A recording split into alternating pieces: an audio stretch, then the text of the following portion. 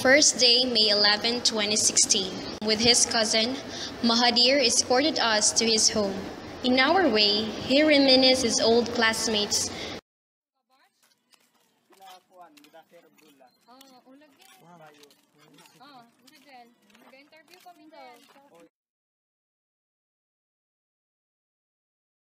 When we got into his house, Mahadir proudly shared his earnings and his certificate during his schooling in alternative learning system.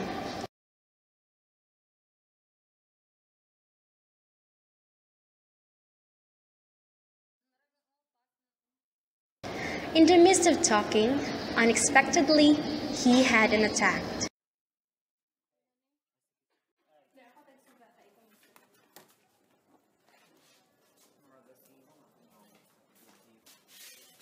Ayan ka.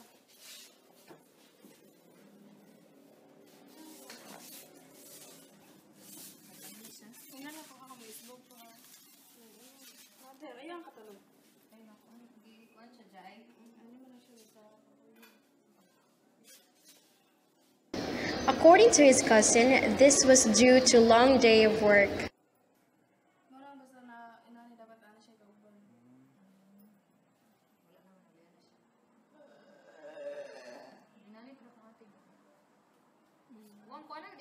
Suddenly,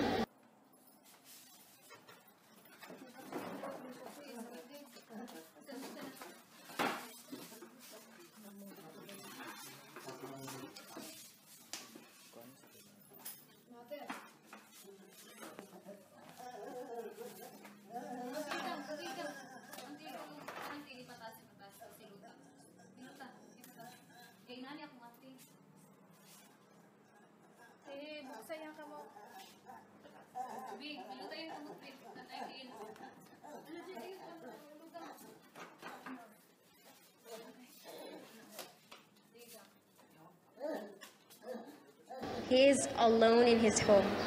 He has no parent to accompany him at that time, so the interviewers and his cousin helped him.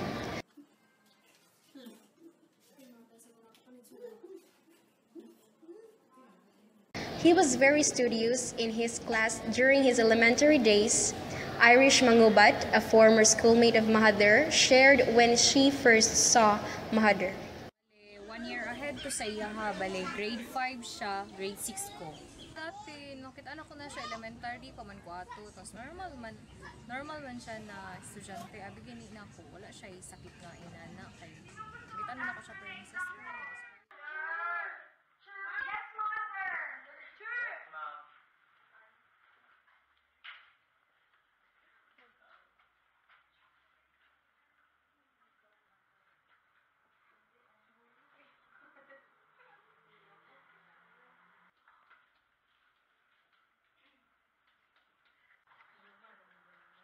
Thank you, Mother.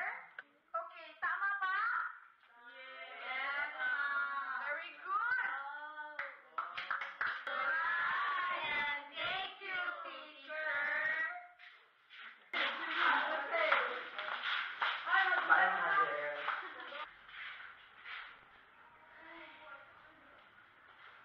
Oh, Mother, ba't nandito ka pa?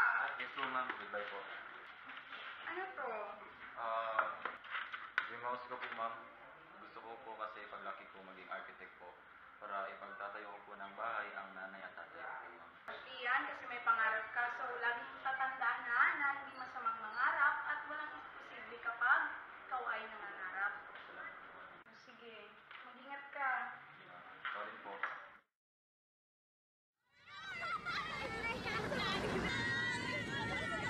On his way back home, Mahathir suddenly felt unwell and uncomfortable.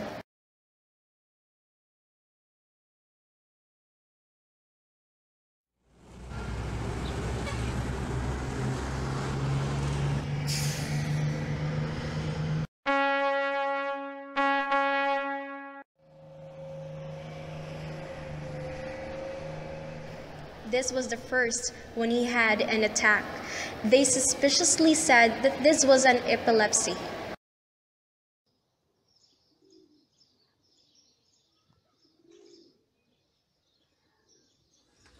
Papa, Papa, mother, sa sala magamit galumpak na bas. Ha? Duken, ni pagulanin. Nangagkalando na magtaga silawas ni. Dong, dong.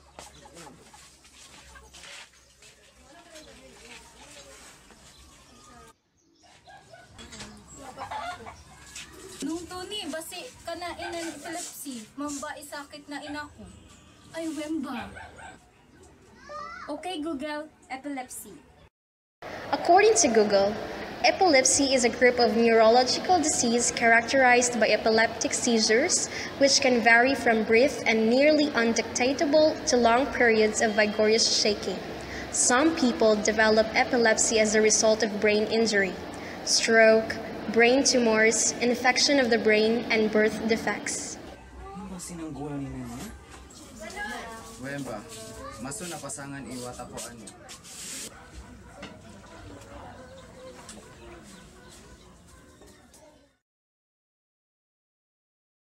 The next day, Mother back his consciousness.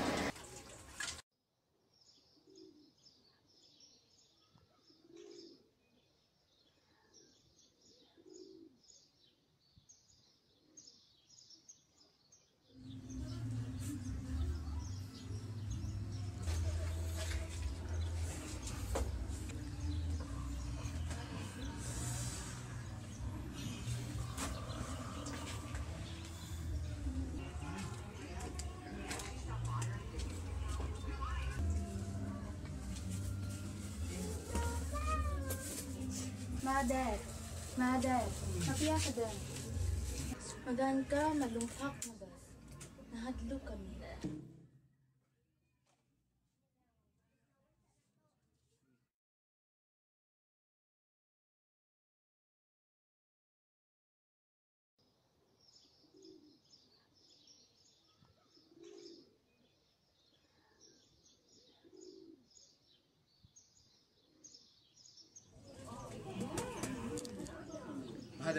Pap, Yan batanan ka.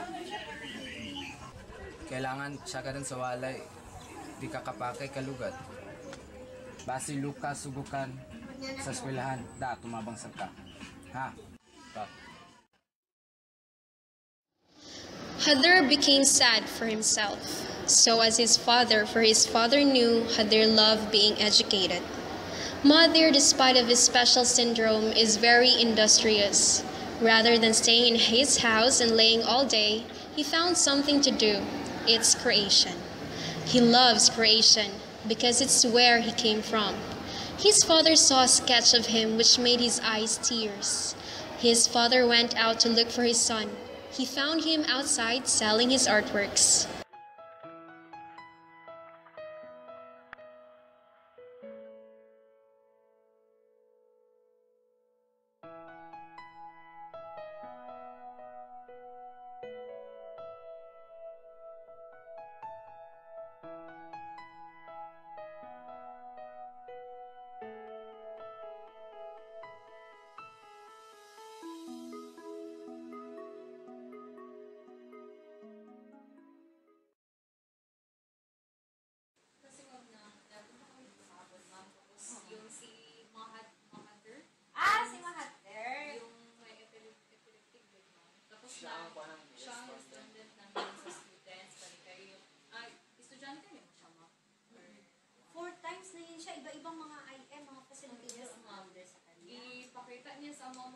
Mga results sa fail na ano tapos yes tapos na ano ko ma'am kay ano kay siya ba proud kay siya sa sarili na nanay ko siya ano diploma Oo.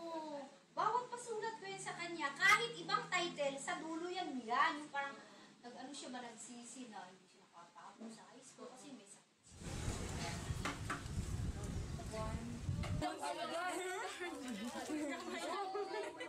Mayong buntag ganin yung tanan. Mayong inyo nga bago nato nga estudyante. Muuni siya si Esmael Muhader. Palakpakin ninyo. Siya atong bago ka-classmate diri sa ALS. Lingkod na dito gang.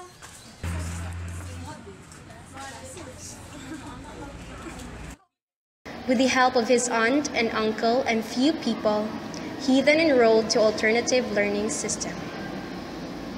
May natunan mo, class? Ma'am! Maulan ni karon nga kabuntagon o pwede na mo manguli. Dagang salamat. Itatay ninyo ugma ulit ha. Salamat. Sige, amping mo. Bye. Bye.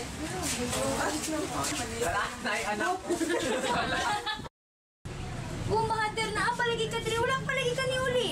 Um, wala pa ko naguliban kaya salamat ko sa inyo sa yung mga tabang sa kuha sa akong pag-eskwela sa wala pa ko nakauman ma'am salamat kayo salamat Ay, wala problema na. Basta magtarong ka ha.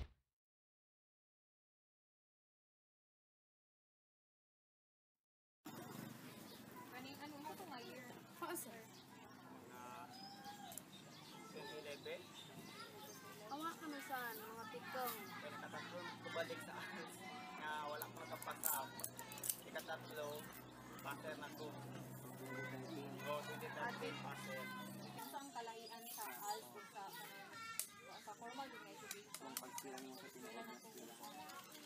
Ara gina hatag yapon sa muang tabang sa pinapangayon ako sa among barangay. Magpadala ko letter nga pinalikap na madala sa barangay sa nang mga ni computer dira nga among gipangayo nga hindi on sa dito tani ara computer sa among room nga room sa ato o 14 ka computer daan naman dira na ara computer kada one week kanang sa barud din ko ana mas klase ni o wala ka adlaw na mas klase ni ito o di antod nga sa first time na akong nga nag nag-exam sa Ireneo wala ko padala bali na nga average wala ka tungtong sa 50 60 bali kaduha amo lang yapon pero kanang ikatatlo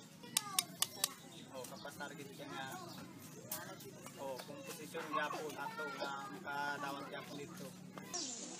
Sa imong maingon sa mga uban gud na estudyante nga naka undang og eskwela kanang may mga sakit, nga mga nabuntis, nag naka-stop sa eskwela, nawala nawalan og pag-asa gud sa kinabuhi o tungod sa mga sa imong maingon sa ilang mga advice nimo sa ilang sayang yapon ang kundi na isumpay ang pag-eskwela dira sa ALS kay makakuha gid ka og mga ginatabang sa imong dira yapon kanang halimbawa nga diploma nga puan nimo ay pakita lang nimo kung mag-apply sa trabaho dito sa mga mall ana. Mga makatabang kasulod dayon ka. Ah, naging gatong sa mga dira sa sa ALS Tapos sa katato sa Rafael. Para sa ikaw pa. Na pasar daya kay kuan. Na nilang kamot gud siya. Sa, na nikamot gud siya og kuan og og eskwela bisag kuan bisag uh, siya gibati. Kasi sa pagdatoan niya pa sa sayang sa iyang maestra para lang mapadayon na iyang pag-eskwela. Para makahuman siya. Message nimo kang sa imong pinsan. Message mo. Oo. Mother, ano tagal? Kami Muslim. Oh, Muslim. Pwede. Mother. Sige na. Mother, uh, sabi na napasa na ka doon eh, pag-eskwelanan ka, sana, uh, kaya doon sakit naka laban ka lang gyapon kay siya kami man para sa naka magsuporta sa naka kung kung ngayon man kung ngayon man mga malatsan sagadi ka lang kay dalalabat nila sa naka lakainan kadang talent ka sila dala Yawan natin. Sukran, salamat! So, is, unsa imong na-learn sa story ni mga Dersin, ikaw man ang nagganap sa iyang character. Ako ngayon lang, ngayon lang sa akong role is despite sa akong mga karamdaman sa events, kaya inspired yapon ko sa akong ginabuhi na sa dahil wala ko kaumang ay wala ko ikarong mga eskwela at tungkol sa alas nakasunod ko tapos ah sa akong mga skills ko na sa yung mga skills ko yung mga dear na na So, iba, ito niya, may mga, pwede siya mag-drawing, mag-painting. So, tungkol ato, mas, natin siya chance na baka maabot niya mga pangarap. Ang advice lang ako sa iya ka, um, always lang din mag-pray kay God na maabot yun niya yung mga pangarap. Dili, yung kay Aubrey man, hindi na niya maabot yung pangarap. So, hindi niyo ka nawala ng pag-asa. So, goal lang dyan ng